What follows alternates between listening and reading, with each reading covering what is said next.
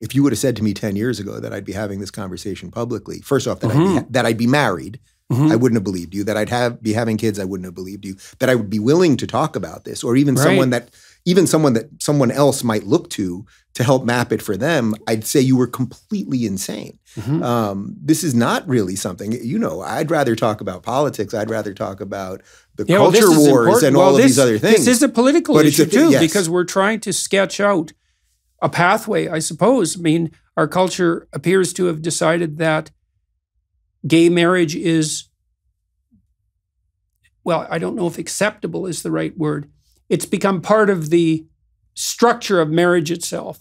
And so now the question is okay, what does that mean?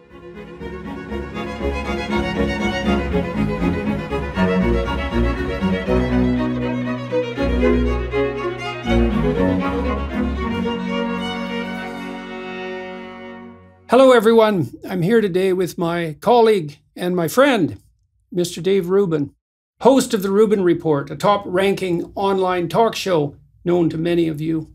He's an author, comedian, and TV personality best known for his political and cultural commentary. Mr. Rubin began his career, like so many people in the online world, as a stand up comedian and continues to perform on stage in that guise throughout the US. In an effort to combat big tech censorship, Rubin founded locals.com, a subscription based digital platform that empowers creators to be independent by giving them control over their content and data, something we could all use. Dave's first book, Don't Burn This Book Thinking for Yourself in an Age of Unreason, was a New York Times bestseller. His second book, Don't Burn This Country Surviving and Thriving in Our Woke Dystopia, was published by Penguin Random House on April 12th, 2022. Dave and I got to know each other first when he was one of the earliest public figures to support my efforts on the fight against compelled speech in Canada and elsewhere. And then more deeply, when he opened for me in 125 cities during my 2018 book tour. I concentrated during that tour talking to my audiences on many issues pertaining to responsibility and meaning, including family life. And that's what we're going to talk about today. Mr. Rubin currently resides in Miami with his husband, David Janet, and their rescue dog, Clyde. Good to see you, Dave. It's good to see you, my friend. I have to say this this feels a little bizarre to me. We've done so many of these so many different cities and countries and different chairs and on Skype and Zoom and every which way. And I'm usually reading your bio. I know, is- I know, This I know. is bizarre, I, man. I know. I don't usually interview you, but we, we we talked together a couple of weeks ago. You have big changes coming up in your life, and we talked about having a serious conversation about that. I know that. and Please correct me if I'm saying anything that isn't accurate. A lot of what I talked about when we were together on the 2018 tour was the responsibility or the meaning that's inherent in responsibility and the kind of meaning that sustains people through crisis and catastrophe. And part of my the propositions I was putting forward, I suppose, was that most of that meaning is to be found in responsibility, especially to other people. And I talked a lot about the role of family in people's lives. And at that point, you really hadn't been considering children, not seriously, although your partner, your husband, was more committed to that than you were. You said you've told me that your views changed to some degree, at least in part, as a consequence of us communicating over the course of that entire year. So maybe you could fill people in on that front and let let them know what's happening. Yeah, sure. Well, so David and I met 13 years ago yesterday. And I know it was yesterday because we met on my birthday, believe it or not. It was on my birthday. And then I got an even weirder one for you. It was at the Gay Pride Parade in New York City, which now they've, they've become sort of these sort of crazy circuses. But back then it wasn't quite like that. But I actually literally remember when he walked into the room and he was wearing an American flag tank top, which I'm pretty sure you can't wear to a, a Pride Parade anymore. Uh, but in any event, uh, we've been together for about 12 years. We've been married for seven years. And um, I'm 46 now. So I grew up in a time when I never even, uh, first off, I struggled with my sexuality for a long time. Partly, we've discussed this. I felt, you know, people it's sort of like a Homer Simpson quote that I love, and I know you can do the Simpsons thing all the time. Uh, I like my beer cold and my homosexuals flaming, and I sort of thought that was what it meant. That gay, even though I was attracted to men, that gay meant something else. Gay meant like you like the theater, or you like to dance, or you like Madonna, or something. And I didn't really care for any of those things, so I really had some some distance between my feelings and and my attractions, and sort of the way the world could map to that, so to speak. And as a as a Gen Xer, um, there was nothing. We never talked about gay marriage. You didn't even talk about anything gay. There, there was nothing. You know, growing up in the '90s, there were, there was no role model to look at. Um, the only person that I ever saw on television that made any sense to me was in two episodes of The Golden Girls. Blanche's brother comes out as gay, and he marries a cop. This is 1991, NBC primetime. Obviously, gay marriage wasn't legal for another 30 years or something. But I so I had no role models. I had no nothing. So I sort of just never thought about getting married, having a family. Truthfully, and I didn't even realize this till we were on tour. I never thought of the future. I sort of thought of my present all the time. And then when we were on tour, flash forward a bit, David and I got married. And even when we got married, we never really talked about having kids or even what a family meant. We knew we we love each other and we have a great time together, and you know we love the same things. And I think in most ways we bring out the best in each other. Um, sometimes we bring out the worst in each mm-hmm, other, and that mm-hmm. probably is you, that's, that's probably good for you're married. exactly. Um, but then, right around when we were on tour, so now this is 2018 uh, David started talking about having kids, mm-hmm. and we were texting a lot about it while we were on tour. And then I'm with you on, you know, on stage every night, as you said, in 125 cities for about a year and a half, and you're constantly talking about the importance of family and the importance that for most people, and this is the way you would always say it, and it's hard to quote Jordan Peterson exactly, but something to the effect of that for most people to live a fully actualized life mm-hmm. that being a parent is a integral part of that. It is there's almost no exceptions to that. You would always make a point there are some exceptions. You might yeah but there, you have to be exceptional to to have an exception to that. So yes, you know, maybe yes, it's a third job and career and that sort of service to the broader community and it's a third your intimate relationship and then it's a third children and family.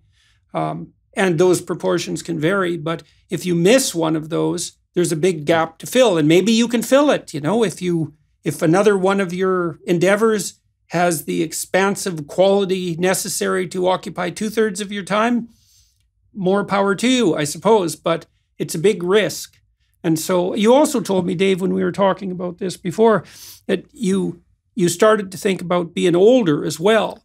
And I suppose that then that with your concentration on the present and the lack of role models, that there was no real vision for what it might be like to, well, to grow old in the gay community, I suppose. Yeah, and you know it's funny. I, I the gay community. I, I hate that yeah, yeah, that phrase. Yeah, I know even I know, even I as you said it, it's like it doesn't mean anything to me. I don't think of you as part of the straight community. Right, you know, it's just right. one of these things. We say these things. We don't even know exactly why we're saying them.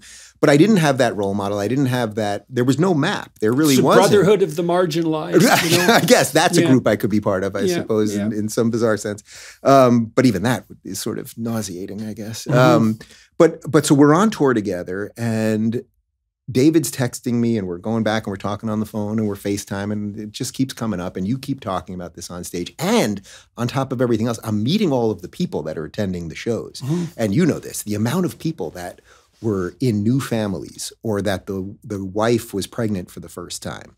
And I'm seeing the joy on these people's faces. All of this is hitting me. And then you keep saying this thing that for most people, they have to do it. But there are these exceptions. And mm-hmm. I kept thinking, well, wait a minute, could I be the exception that I could live a fully actualized, best possible life without having kids and at the same time be married to someone who wants kids? Then, then what am I Mhm, even right, married right. for? Well, what was the right, right. Well, that does beg that question, doesn't right it? so now these are these things are really hitting each other and because i had never because the map wasn't there the, the roadmap just wasn't there i started going man i really have to think about this Mhm. now and i remember one night we were on you were on stage and you know i had the best seat in the house every night because i'm just off stage left so i'm basically watching stage you right is actually better. uh, stage right, I guess. Yeah, I suppose it depends which country we were in. Uh, but I'm, you know, I'm basically watching you from behind, so I have sort of the back view of you to the crowd. So I, I genuinely felt that every night that I was part of the show every night in that sense, part of the audience. And I remember you said it one more time, and I thought, all right, I, I, have to do this. I have to do this.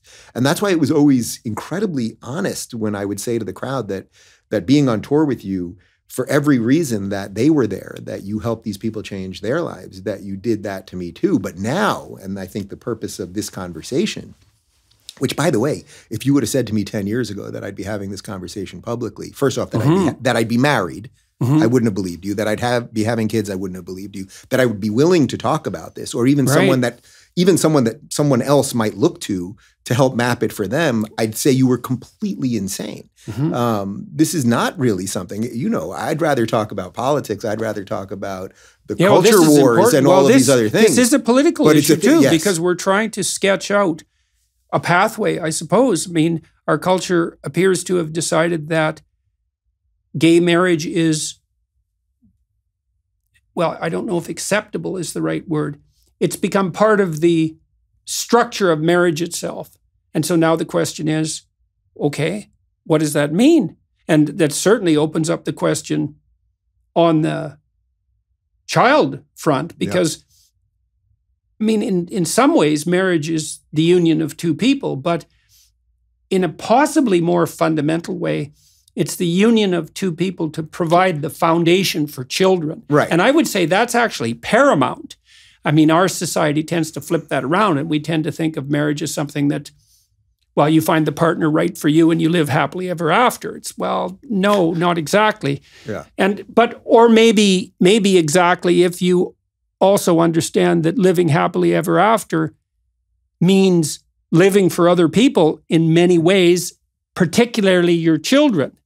And so, and then of course, that complicates the issue on the gay marriage front because, as we're going to talk about, it's also more technically difficult to have children if you're a homosexual couple. Right. So if you take just the the marriage part first, meaning that two people are going to choose to share their life and live together, you know, share a bed, et cetera, et cetera I would say culturally in America, we kind of moved past that. I mean, Trump ran, he's the first first time president. He was on stage with a rainbow flag. It was, you know, and, and nobody cared, or not, I shouldn't say nobody cared, but the enough people felt, okay, you let people live the way they want to, to put this down and, and move ahead.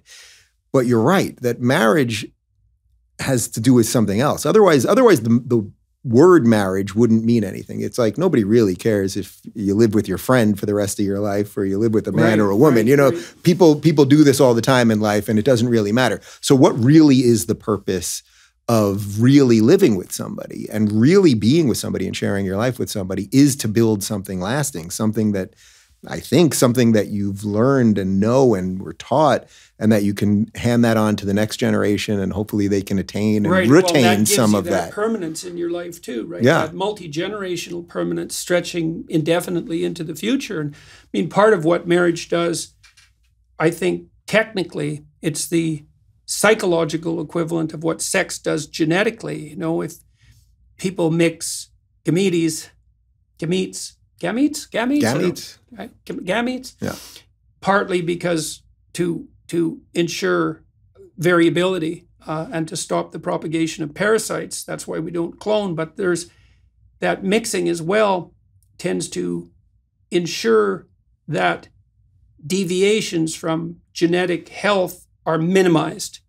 And so the same thing happens on the psychological front, I would say, is that each person has their own idiosyncrasies, and some of those lead them down the garden path to terrible places. But if you're with someone else and you have to negotiate with them constantly, then that opens up the possibility of you mutually modifying yes. each other's personalities so that you both become healthier and that your joint existence is a kind of can be a paragon of sorts and then that's what the child interacts with is that united front of the two parents. Right. And so you get that longevity of view, which I think helps to mature you, but you also get the opportunity to become more fully fledged as a psychological being.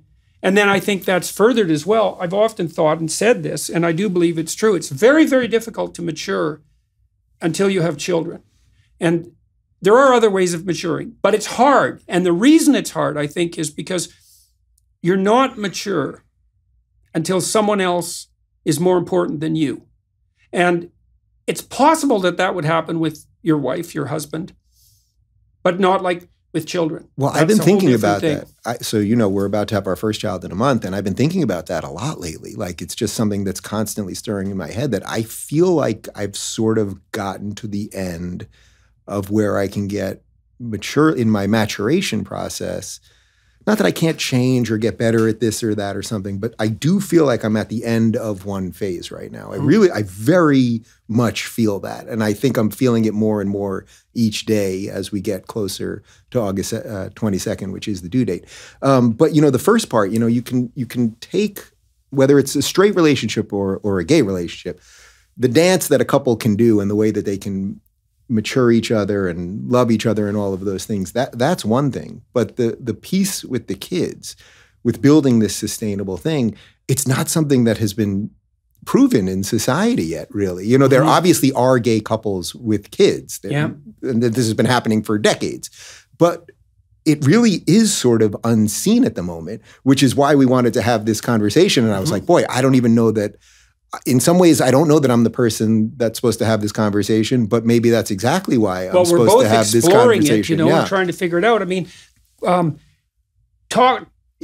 Maybe we can talk Yeah. about exactly how it came to be that you'll have a baby in your household in six weeks. Talk about what you had to do to make that happen and why you made why you made the decisions that you made and what advantages and hazards come along with that. Sure. So, first, technically, because there are biological differences between men and women, I don't want to get us canceled on YouTube, but it actually is true, Jordan. Uh, you know, we could not biologically have kids, so you know, just ourselves. Uh, so we decided we talked about ad- uh, adoption for a little bit. We did. We both felt that that the genetic component of this was important to us. Mhm. Um, so for a little while, we debated uh, going with my sister's egg. We, we thought we'd have two kids. That was the the general thought process in the beginning. And we thought we could uh, take some of my sister's eggs, and she's a mother now. She's actually pregnant with her third. Uh, but that we could get her eggs, and then we would take David's sperm, and then we would have two children from that. Uh, Mhm. after a long time of talking about a year debating that back and forth and going through all that, there were a lot of ethical and moral issues. And my my sister then would sort of would be the biological mother of my children. I mean, there were all sorts of things that we were about to traverse. Right, and that's all that- uncharted territory, right? You- All I sorts mean, of yeah. You think you know how that might go, and you think you know how it might go if you have goodwill, but that does not mean that you know how it will go. And I have to say, even that conversation, having that conversation with my sister, who was interested in, you know, when I, when we came to her, she was sort of flattered and honored that we were even considering it. But then, you know, we said, why don't you sit with this for a little bit? And then suddenly she had a lot of those questions, and she was concerned if, you know, she shows up to the birthday party and then feels this odd jealousy, or what if mm-hmm. she suddenly wasn't happy with the way that we were parenting, Right, or that's a big one. or a litany of other things. So even Yeah. going through that, and this this obviously is not the way that we ultimately went about it. Even that was sort of a, a maturation process, and like you know, what are we really trying to do here? So anyway, ultimately we decided to find a an egg donor. I mean, basically, it it sounds sort of uh, uh, glib or something, but it's it's sort of like Tinder. I mean, you can there are these websites that exist where the the egg donors are on the site, and you try. We tried to find a girl. I didn't really care that much about the pedigree in terms of did they go to an Ivy League school or anything like that. We wanted to find a girl who obviously was physically healthy, most importantly, um, that you know that didn't have major issues in terms of genetics and all that sort of stuff. That we thought that sort of looked like the type of girl that we might be with. So I didn't want you know a six foot five Swedish woman, let's Mhm. say. Um, and so we have one egg donor, meaning there were multiple eggs and we fertilized one with David's sperm and one with my sperm, and we'll have two kids. Right now, we have two surrogates that are pregnant. And even talking about this, it's like, man, I get this is this is all kind of crazy stuff. Putting aside putting aside gay or straight related to all of this, the whole surrogacy thing is is it's fascinating that there are first off women who are willing to to donate their eggs. And you know, I I hear a lot of people, and we we talked about this. There's this criticism of somehow that you're you're buying the egg and you're renting the woman, Yeah, meaning the yeah, surrogate. Yeah, And of course, there is a financial component to it. There is. I'm not denying that there isn't. Yeah. I can tell you, having gone through this process, and and we had uh, a previous surrogate who had two miscarriages. they were also, you know, we were doing a lot of this during COVID. And during COVID, there were all sorts, the miscarriage numbers were through the roof. There were all sorts of weird things. The quality of the eggs wasn't great. They don't know exactly. They'll have to study this for years in terms of what actually happened. Um, but I can tell you that the women who offer to be the surrogates and who are uh, offering their uh, eggs, they are not doing this for the money. There's all sorts of other ways that you can make money, that anyone can make money. They are doing it. They are. They talk about that they have this ability and this gift that they can do. Um, a lot of them. There are some that won't do it for same-sex couples uh, mm-hmm. because of their mm-hmm. own ethical or religious views. Mm-hmm. Um, the surrogates that we found, they actually one of them had a gay brother. I mean, there were all, all sorts of things that they feel that they can help other people have a family, and what a better gift there is. But but all of that aside, all of the science and genetics and all that, it leads us to this thing, which I think is the heart of what we're what we're trying to talk about here, which is so we're going to be a family with two fathers. Mm-hmm. and and no mothers and mm-hmm. and what does that really look like you know it's very easy to just say okay gay people should have kids or gay people should get married and gay people should it's have kids. It's easy to say a it's lot just, of things. It's easy to say an awful lot of not, things. As you said, it's not that easy for a gay couple to have kids. Right. It's so very put, complicated. So putting aside the, if you're going to go the surrogacy route, putting aside all the finances and all of that stuff, that that eliminates an awful lot of people from even being able to do it. Fortunately, we're we're able to do it. Okay. Uh, but now it gets us to the to the real part here, which is that now we're going to ha- live in a household with two fathers. There's going to be no mother involved, and and what does that really mean? Right. Well, and we and I understand some of the reservations well, there. Yeah. Well, so we do know, we do know that children who are breastfed do better. Yep. I believe that one year of breastfeeding is equivalent to. I think breastfed kids have a five point IQ advantage, and one point IQ is worth one year of education. I have basically. two freezers in my garage, two industrial freezers full of breast milk. Right, that's right. So, David so, has done all the research on this. Right. So yeah. another complication, but uh, okay. And so, and we don't have data. We don't really have data on motherless children raised by fathers from infancy, right? Because it's pretty rare. Mm-hmm. I don't know if there's literature pertaining to that at all. We do have a literature on m- mother-headed families without fathers, and the data there are crystal clear. It's not good to be fatherless. Now, that doesn't mean that there aren't some women who are struggling mightily as single mothers who don't do an outstanding job. But what it absolutely and 100% means that on average, that's suboptimal and badly suboptimal.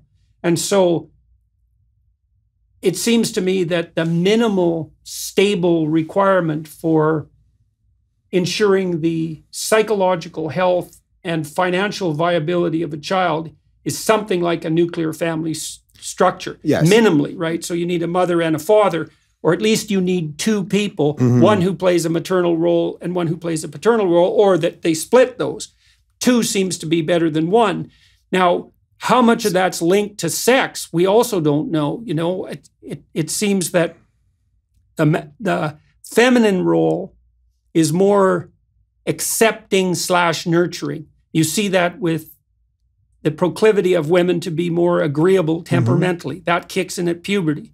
And so I think that you have to be accepting and nur- nurturing, especially in your attitude towards infants before they're mobile. Mm-hmm. So, say before six months, before nine months, an infant does no wrong. It's 100% acceptance. The problem with that is that that's not true as the child develops because it has to switch to more of an encouraging role. It's like out of your dependency into the world. And the paternal spirit encourages that development. Now, mothers can do that too, mm-hmm. but but roughly speaking, women tend to do the nurturing thing more and men do the encouraging thing more. So now the question is how do you mediate? How do you manage to fulfill both those roles in the absence of uh, a heterosexual arrangement. Right. So now naturally we understand that there are men who are more nurturing and women who aren't as nurturing and all yes. of those things. Now yes. you you know David pretty well and we've been out to dinner with Tammy many times yeah. and you know him. He is incredibly warm and nurturing and loving and deeply cares about all those things. And I'm telling you, he is reading about skin to skin contact yeah. every day yeah. and all of the breast milk stuff and everything. And I know he will have a huge percentage of the stuff that a mother would bring. But I also know right. it's not all of it. Well, and also, he knows well, it's the not other all thing of it. too is that you guys have to do that consciously, Yes. right? With the re- with research in hand, and to build up that proclivity that would be there more automatically, arguably, with a mother and all the psychological and hormonal transformations she undergoes, and that transition into breast milk production and all of that, which is a fundamental transformation in a woman's biology and her psyche. Now, you and David have ample resources at hand, financially and intellectually, that enable you to traverse this Mhm. pathway as well as anyone is likely to do it. But it is very interesting and salutary to hear you also talk about the complications. So, so on the feminine side, let's say, you you think you have the nurturance angle well covered. You talked to me a little bit about having women around in in your infant and child's life as well. And- Yeah, so David's mom is going to be living with us for a few months at the start, as well as his sister, who's taken care of young babies already. Uh, but now I understand that they're they're not the biological mother, but they will be there. You know, we're going to have night nurses uh, also for a few months to help the babies get on, on a normal sleep schedule. But these are all the pieces that we're we're trying to put together. But can we just mm-hmm. back up for one second because I think before we go too deep into just the parental part of this, there was another thing that came up when we sort of roughly sketched out this conversation over dinner that I think is important, which is that if if you weren't to allow gay people to either get married and enter relationships that will last the test of time or have children to really last the generations, then what are we reducing these people to? Mhm. And I think that's a huge part of this for me. Um, that I think had the world not shifted to be a little bit kinder, had I not maybe been on tour with you and come to some of these realizations or found someone in the world that I wanted to put their needs above my own, Mhm. that I could have been left to a life that would have been sort of purely narcissistic or self-destructive or anything. You know, I used to live Well, in I don't see how that, in some sense, I don't see how that can be. There can be any alternative Yes. to that if there isn't another pathway forward. Right? Yes. So and and so that's the to me that's like the unknown road that I'm going down right now. That that I want I'm choosing to go down that unknown road of oh it can be better than that. Right? I I don't I as I said I don't have I have two, we have two or three couples that are uh gay parents that are doing some version of this but we don't have that model. But then when you know we lived in west hollywood west hollywood is the gayest place on earth you know rainbow crosswalks and the whole thing.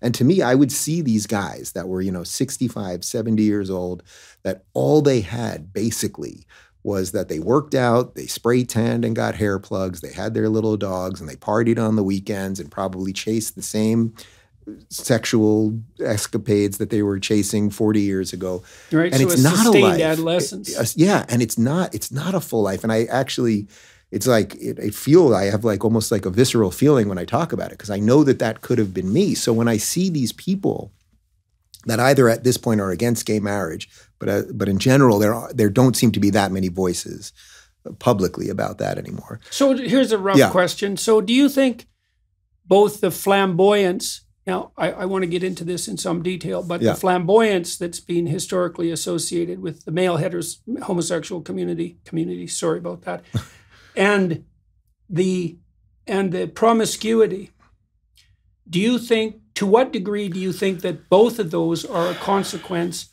of not having a more integrated and conservative path potentially open in front of people? I think it's a huge amount that probably will never be fully explained. If people don't have an ability, look, what was the the gay rights movement for uh, in the '70s in New York City and Stonewall and all of those things? It was th- these people just wanted, well, they wanted to be able to get married. That was part of it, but it was also that they wanted to be able to go to a bar that wasn't underground, that wasn't hidden, that wasn't you know this seedy thing. But that's what they had to do because they were getting raided by the police, and this was going on obviously in other countries, and it was going on for decades before that.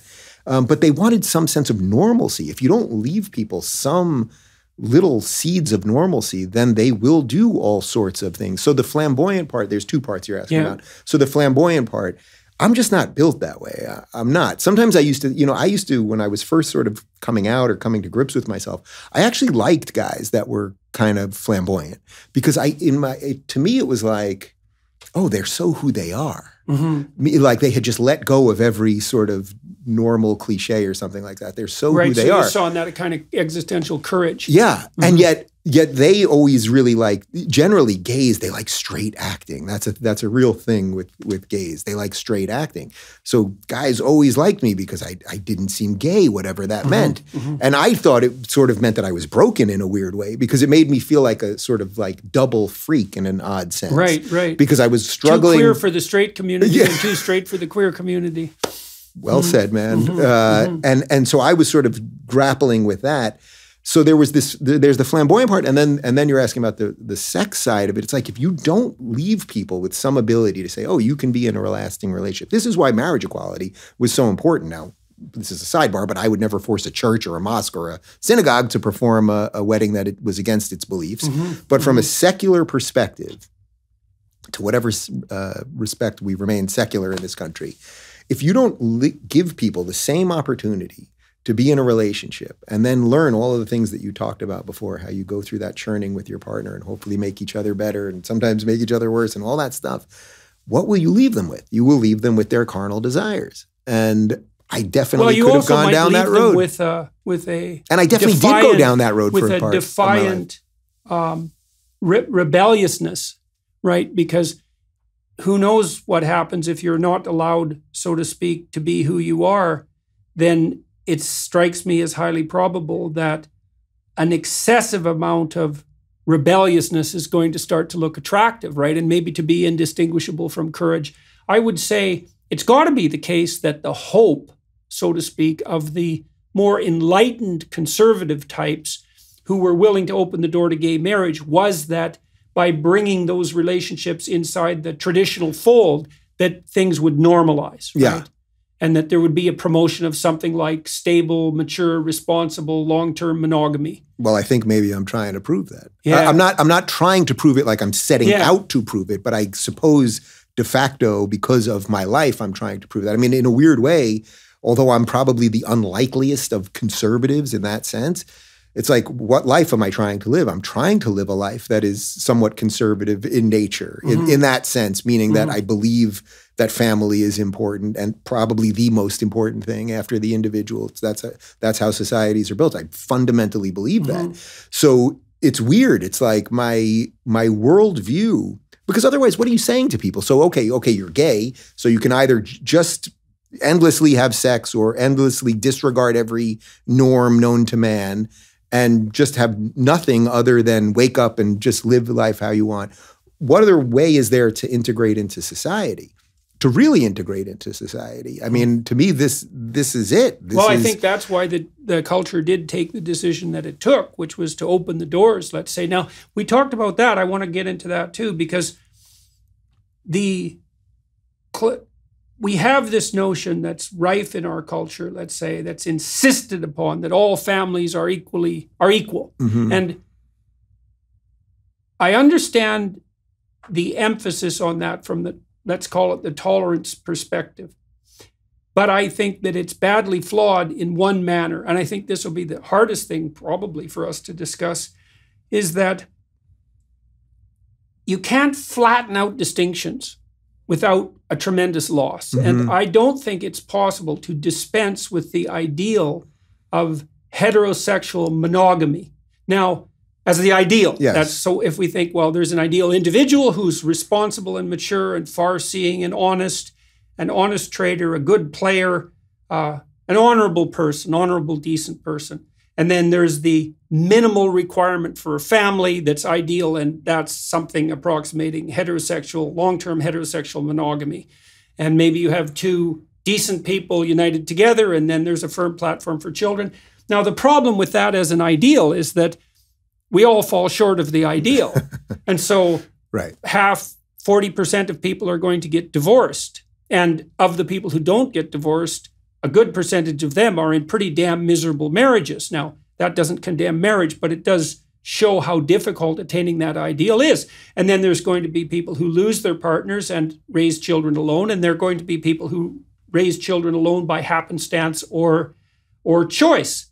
And they it doesn't seem reasonable to what would you say? Um, put them outside the bounds of civilized society. Let's say that.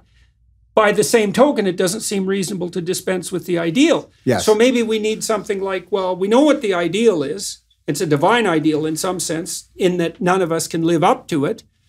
But then there has to be a space around that ideal where the individual differences and flaws and peculiarities and idiosyncrasies of people aren't treated so harshly that that becomes counterproductive in and of itself. It's damning with faint praise, but I don't see. No, that's know, it. That's it. That's it. It's that's the meat of this more than anything else. That there is, of course, there's an ideal. Of course, there is an ideal. There has to be an ideal, and and if we well, there's believe, nothing to aim at if there's not an yeah. ideal. Because if the, if there if there isn't if the ideal isn't two people, male and female, in a heterosexual relationship, then what is it? Is it four people? Is it eight people? Is it one person? Like instantly, you go from that kind of narrow ideal to an intense multiplicity. And we've certainly seen the problems that are associated with that. And so you can't just blow out the confines of the ideal without destabilizing. Well, maybe you destabilize society at the level of the family. And that seems to me to be a really bad idea. Well, it's a really bad idea. And I think we're seeing some of the repercussions of that right now, right? I mean, we've seen the, ex- the excesses of what the woke or the progressives or whatever that is that are now destabilizing everything this is why I've said this. I've gotten into trouble for saying it a few times, but I'm sympathetic to to conservatives who go, boy, you know, we we let gay marriage happen, yeah. and look what's happened yeah. since. Now now we're into all this gender stuff, and they're literally teaching gender theory to five year olds who know nothing about gender well, or sex or anything else. But but the issue really is so okay. So if we have the ideal really what we're talking about here is what do we do with these marginal cases the marginal cases meaning okay the so old now postmodern question right so but so what do we really do with that so now okay so there are going to be gay couples who want to approximate to that mm-hmm, ideal mm-hmm. So what does a society do? Does a society try to help them get there? Or does a society just never talk about it push them to the margins or and push it underground. Right. So what we're trying to do right here is unearth that a little bit. So I don't deny the importance of a mother by no stretch. As I said, we're going to try to have as many strong female role models as possible, but I don't think it will replicate a mother. Hmm. By the way, when you talk well, children about are pretty good at bonding with adults who aren't their biological relatives. What children don't like is instability in their primary caregiver. They really hate having primary mm-hmm. caregivers swap because their primary caregiver is their whole world. And so basically, if you substitute one for another, say six months into the child's life, then it's as if everything the child knows has been flipped upside down. So they don't like that. They're perfectly capable of bonding with multiple people, though, and there doesn't seem to be any developmental downside to that. In fact, perhaps quite the contrary. You know, I don't think it's so bad for a child to have a variety of role models to choose from. And I certainly don't think it's impossible for you to replicate both the masculine and the feminine influences in your children's life. I would mm-hmm. just say, well, it's difficult. Might be more difficult even if you're a homosexual couple, but it's difficult if you're. It's difficult it's, enough it's if tough. you're hetero. And there are plenty of heterosexual couples, so where both partners are essentially feminine in their temperament, mm-hmm. or both partners are essentially masculine.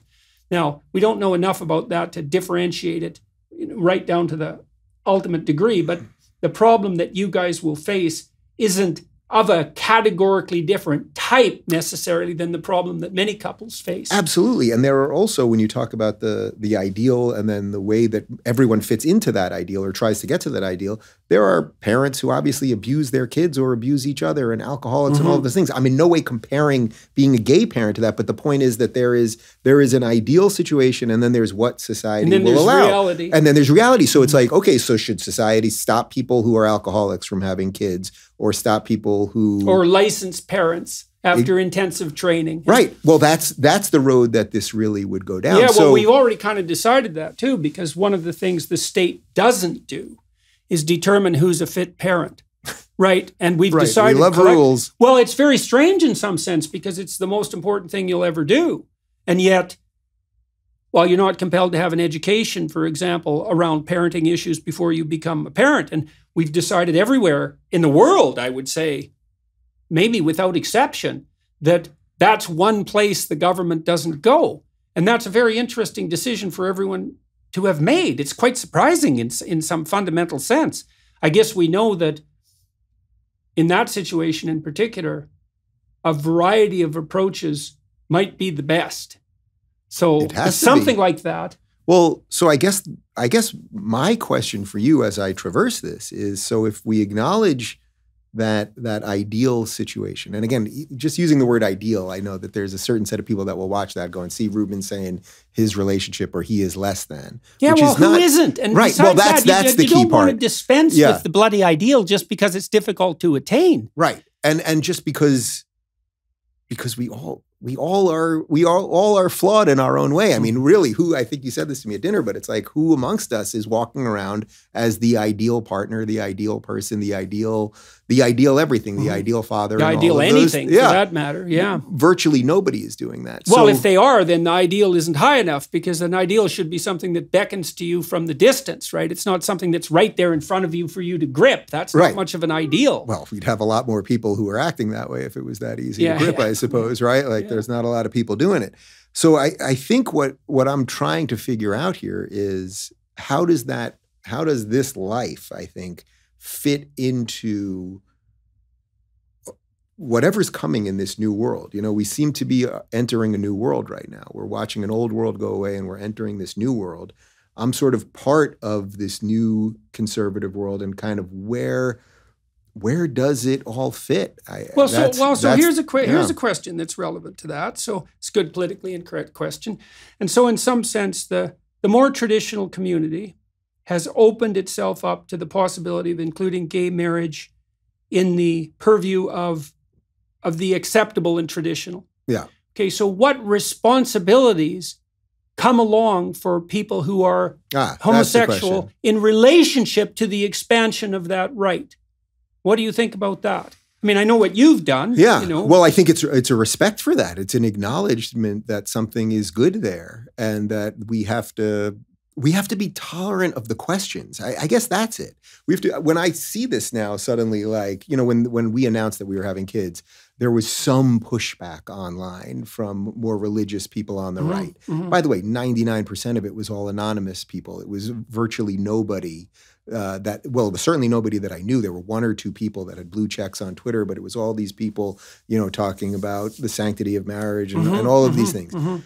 But I'm willing to have that conversation. I, I accept that Well, this, that's this is a-. Yeah, I, I genuinely accept that this is this is a little bit weird. This is a little bit, you know. But it's like if we don't have these conversations, then then the thing that we're pulling apart by pulling apart marriage and the family just by saying it is anything and everything at the exact same time. Yeah, right. Well, that's that is far more You dangerous. bet. You bet. That's Yeah, yeah. far more dangerous. So that's why, even as I'm sitting here now, I'm sort of like, ah, I partly don't want to have this conversation because Yeah. it's like I don't know the answers to all of these things, but I know that we have to be Well, able that's- to do it. You're supposed to talk when you don't know the answers because then maybe you can think it through and you can exchange views with other people and you can you can you can expand your knowledge in that domain of ignorance. I want to go back to something you said. You decided, the two of you decided that genetic similarity was an important was an important factor to take into account. Yeah. Now, obviously, that's issue doesn't arise in the case of fertile heterosexual couples. It does if they have to adopt or Yeah. if they decide to adopt instead. Um, and we know that people, there is a preference, quite a marked preference, although this might not be so clear with adoption.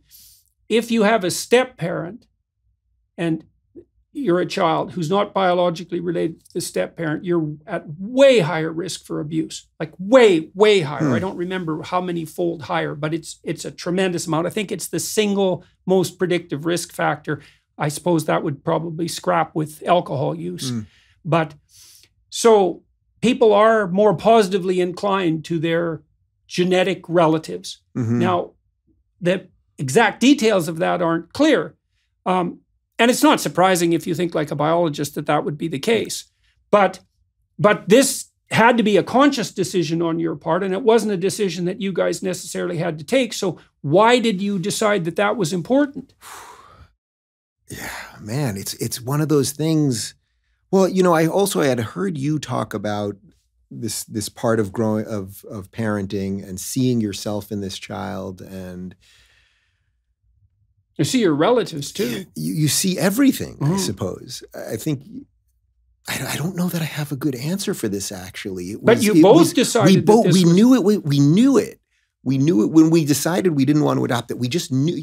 I don't know what. I don't even know how to describe it. Yeah. There was something important when we had that conversation. Okay, are we going to adopt? And we really did think about it. And it would have been way easier. It would have been way less expensive, and all of those things. Yeah, it's And a strange both- thing that that can't be articulated. eh? It- it- I don't know. I, I don't know that I can articulate. it well, you might ask was- yourself on on on the similar front is like, well, there's lots of unwanted babies in the world, and so why isn't the ethical thing when you're a heterosexual couple just to Just adopt to an adopt. unwanted baby? Why bring another baby into the world when there's a baby that could use a home? And the answer is that isn't what people do. And then the question might be, well, why? And you can come up with a biological rationale, but that doesn't mean that there's a conceptual a conceptual answer handy.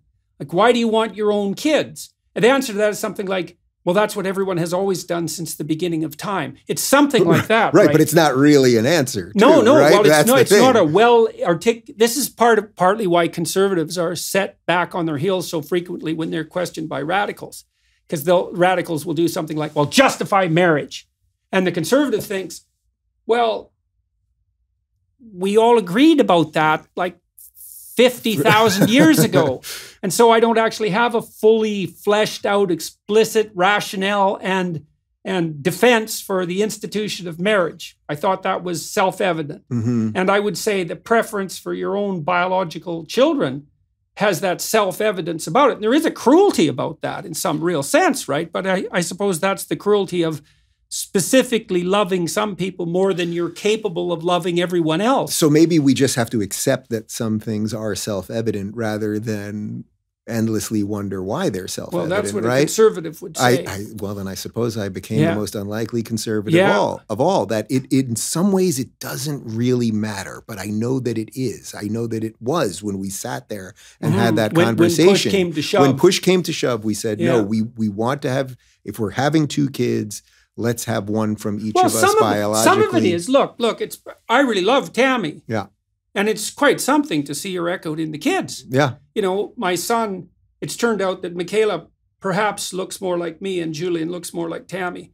But I can see Tammy in him, Mhm. and I'm pretty happy about that. You know, Yeah. and, and so, and I suspect, hopefully, she feels the same way on the other side. So that love for the person is also echoed in their replication in the children. And then there's more than that too, because like when my son was really little, he really like an infant, just a newborn infant, he would have facial expressions that I could see were my dad. It's like, oh man, he looks exactly like dad. He has exactly the same facial expression. And so that echoing of other people that you love, that's not nothing. Yeah. You know? And that doesn't mean that if you adopt a child, you can't come to love that child as if they're your own.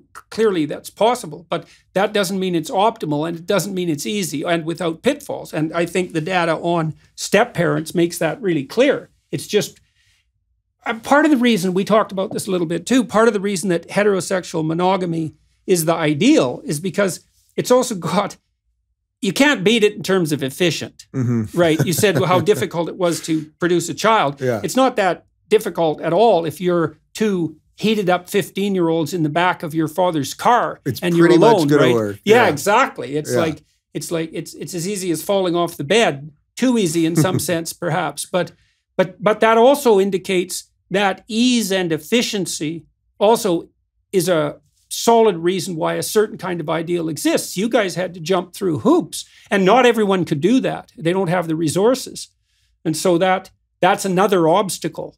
It's a lot and and again without that map without that you know that's the interesting thing for me. It's like as as i've sort of shifted politically as you know about and so much of my life has been about politics and talking about what i think for a living. And then suddenly man all of my political thoughts all of the the stuff that i talk about all the time and government and all these things now it's really like it's all sitting right in front of me right now. The the difference between your own personal morality and the way government is and our role in all of these things um I, I it's like i'm trying to do i'm trying it's this the, the self-evident part of this i'm trying mm-hmm. to do what i know is right, Right, right, right. trying to do what i know is right, and that's is not right always explicitly explicitly explainable. and maybe We- right isn't the word i'm trying to do what i know No, i'm I trying to right do what i the- i'm trying to do what i know i'm supposed to do how about that Yeah, well, that would be good. That would be good to try to figure out what that is and to walk that path. That's a good thing if you could manage it. Another thing we talked about a little bit in relation, decided to discuss today in relationship to the ideal was this is also an extremely contentious issue in case we haven't covered enough contentious issues Hmm. already. Um, as the and, and this goes back to the issue of the conservatives who took issue with gay marriage. It's like, okay, we're trying, we're starting to break down the categorical boundaries here. Where's that going to go? Well, we've seen where it goes, at least to some degree. And as I said, I'm sympathetic to this. I Mhm. really am sympathetic to this argument. I Well- see it. I see it. I see what they were worried about. And unfortunately, the left. Uh, you you tweeted out something a couple weeks ago. You know, I was never a conservative until the liberals decided there were no rules. I'm, Yeah. I'm paraphrasing you roughly, but I'm sympathetic to that. So much of all of the things that we knew, we no longer know at a societal level, apparently, and be, and that's yeah, like the because of the ex- distinction between a man and a woman. Well, we, we could talk about that in relationship, again, to use this hated phrase, to the LGBT plus community. yeah. First of all, the notion that that's an integral community is foolish, Horrific especially idea. as you add more and more uh, letters. I have no innate knowledge of what it is, more innate knowledge of what it is to be like to be trans than you do. I, I happen, I am male, I am a cisgendered male, I am a man born in a man's body. I happen to be attracted to men. You are a man born in a man's body, you happen to be attracted to women. I have no more in common with a trans person except you the do. fact of marginalization, the Right. arguable fact But of that is not that is not a unifying force. That is not something to put on a flag and say now we are all together because well, of this well, thing. the question is, can you see? That's the theory in some sense, is that the marginalized have more in common than that. What differentiates them? And I, yeah, I don't buy that. Well, there's there's a quasi ethnocentrism and, and even a racism that's associated with that, right? The different are categorically different, and they're all And better. different in the Don't- same way. Well, Yeah. th- that's the next step. Yeah. But but the rubbers really hit the road in a terrible way recently because you tell me what you think about this. I followed Ken Zucker's work on the trans on trans kids. Now Zucker worked at a place called CAMH um, in Toronto, major mental health institution, and he was a mainline scientific researcher, not a political type at all. Really a dedicated clinician and researcher, and he ran a gender dysphoria treatment clinic, probably the clinic, and he was the editor of the main journals where research on that sort of topic was published. And what Zucker, his treatment program for kids with gender dysphoria was quite straightforward. He observed, as a consequence of his careful research, that about 85% of kids who manifest extreme gender dysphoria, so the sense of discomfort in their own body and a desire to be the opposite sex, 80 to 85% of them would desist on their own by the age of 18 or mm-hmm. 19.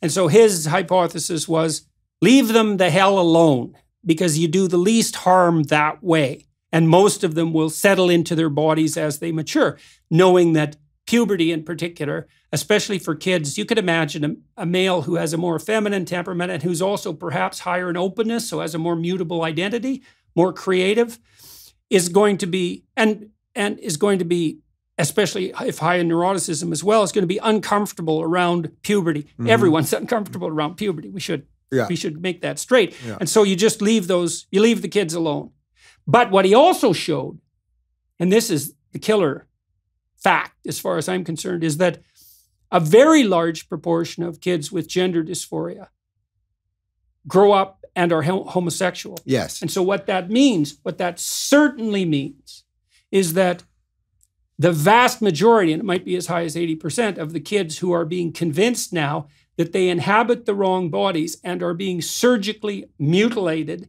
on a, in a permanent and this terrible manner, the overwhelming majority of them are gay.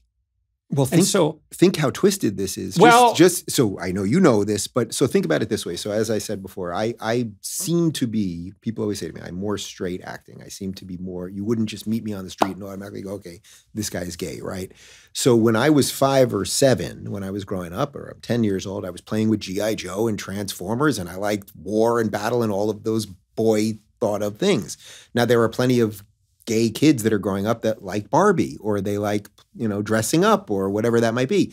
In today's world, the teacher at the school or the administrator or the gender expert or whatever would probably be coaching them towards saying that they were trans, where they would have left someone like me alone. There would be nothing mm-hmm. to think about. So, in an in an odd sense, the trans movement is extremely anti-gay. Mm-hmm. That that's something that these people really have to grapple with.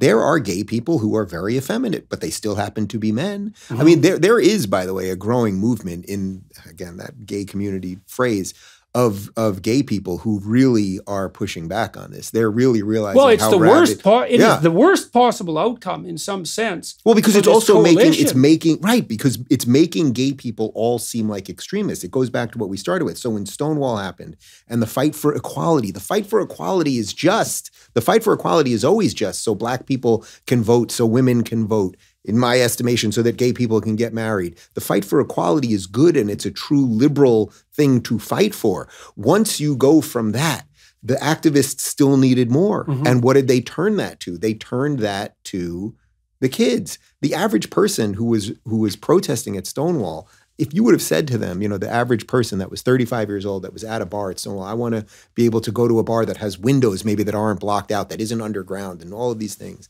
and and be in a relationship that I don't have to hide or whatever. Actually, 30 years from now, 40 years from now, this is going to be about uh, sending your kid to school where they're going to privately discuss t- uh, sex with teachers. Mm-hmm. They, they would As never a believe to hormonal transformation and surgery. Right. And more than that, to make, and here's another perverse element of this. So many legislatures around the world now have banned so called conversion therapy. Mm-hmm. And to me, this has been a catastrophe. Now, I know that there was a small percentage, mostly of fundamentalist Christian therapist types in the US, who were offering their services to homosexual people who were unhappy with their sexual orientation. And so you could have a discussion about whether that's ever appropriate or not. Although I would say that's bloody well between the person and their therapist, as far as I'm concerned. Uh, yeah, but now that's illegal, and it's illegal to the point where you are required by the uh, conditions of your psychological association, your professional associations, American Psychological Association, let's say, to affirm the stated identity of your client which is completely which insane. is and also very different. Affirming the stated identity of their client of the client is very different than affirming that someone happens to be attracted to the same sex. Right? Th- those are very different things. Well, than, even than affirming case, the gender identity. Case, you're not as a therapist. So, your role isn't to affirm or to deny. Mm-hmm. It's to listen, right, and to explore. That's your that's your purpose. In in all your years of clinical therapy and all the patients that you ever saw, I'm sure yeah. I'm sure you saw dozens, if not hundreds, yeah. of, of gay patients. Did you ever meet a gay man who successfully de-gayed and then went on to live a, a completely functioning life? No. I did have a client who was questioning, yeah. who went the heterosexual route. Yeah.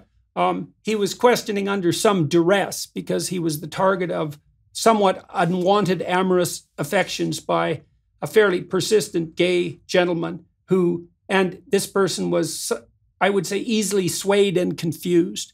But that was the closest I'd ever seen to the situation that you're describing. Now, this conversion therapy issue is so now you, as a therapist, you're ethically and legally bound not to question the identity of your, the stated identity of your client which to me is mm-hmm. preposterous because all you ever do as a therapist is question identity. That's the whole bloody, yeah. that's the whole blo- enterprise. And you don't do it affirming or denying. You really don't. You do it as a as a questioner and a strategist. But then we have the other conversion therapy, which is surgical conversion, which, and that's not only legal, but opposing it has become a crime. And so that's a form of insanity that that I just can I can just barely wrap my head around. So so what do we do going back to the to the conservatives that were worried yeah. that this is where we were going to end up? To, in in some sense I should probably be their greatest hero because mm-hmm. it's like, oh, here's someone who wanted to enter civilized society, wanted yeah. to affirm most of the long fought, time tested ideals, wanted to enter the world with those things, help defend that world. Um, it happens to be a little different than than we would think, right? Yeah. Okay, it's it's two guys. I can't deny it. I should sort of be a hero to them. It's it's Mhm. not the ideal one that they went for, but it's approximately close enough that this this should be pretty good. I Mhm. suppose that will be my challenge in life. Well, I think, maybe that's but I just, also think yeah. that's probably true. My suspicions are that when we release this discussion, that the overwhelming majority of people will be sympathetic to your situation and Well, my- unwilling to to render harsh judgment. And maybe that does exclude, and we should get to this too, some of the uh, more fundamentalist religious types. But you also said earlier that as far as you're concerned, they also have a point. There is a point Okay, there. so what's well, the point? Well, there has to be a point there because look, gay marriage was legalized, I think, at a federal level in the United States in 2015, if I'm not mistaken. So that we're now seven years off of that. Right. And look at all of the craziness that has happened since. I am not directly connecting it Mhm. to that. But when you change fundamental structures, some weird things are going to happen. This is again where I would lay most of the blame here. I would lay on the sort of liberal establishment where nobody was willing to to defend anything, and it's why the progressives Well, basically well, were able well, to problem destroy may, everything. The problem maybe comes is so we had this implicit ideal, which we've already discussed, which is heterosexual monogamy, long term, faithful, all of that, goodwill, that impossible ideal that people strive towards. And there's a real boundary there, right? Like a real boundary. It's a man and a woman, it's one man and one woman. They're bound together over the course of their life. The community supports that. Like it's a pretty definable box. And then you say, well, we'll let the walls down. And so we include single mothers and we include gay couples. And it's like, yeah, but the wall's gone now. Mhm. So what else do you include? And the answer is, well, we don't know. And that's actually not a very good answer. Right. Because what happens is anyone who knocks can now come in. And you think, well, that's great because we're being tolerant. But the problem is, well, what happens when all the people in the room who are now invited in actually do not agree at all? And so that any of this was ever good in the first place. That's well, sort that, of that's that sort and of where also what at. should be done because you can imagine now if you have a if you're uh, dealing with a 10 year old boy who's who's or 11 year old boy let's say a little closer to puberty who's ambivalent about his sexual attraction and his sexual identity but also has a more feminine temperament which- is not rare by Mhm. the way because there's a lot of overlap between masculine and feminine temperaments and now you have to decide well is this boy likely to be gay or is he trans? And that's a hell of a decision to have to make, especially when you can't actually have a real discussion about Right, it. You can't when the- when the, the- parents. the parents can't, and Mhm. the clinician isn't allowed to to say what they think or ask. In essence, yeah. So, and then, so and then, especially when it's accompanied by the pressure, which is a complete bloody lie, that well, if you don't let this kid transition right now, all you're going to do is cause him more damage. You're going to increase the risk of suicide, which, by the way, I think is a claim that there is absolutely zero evidence for.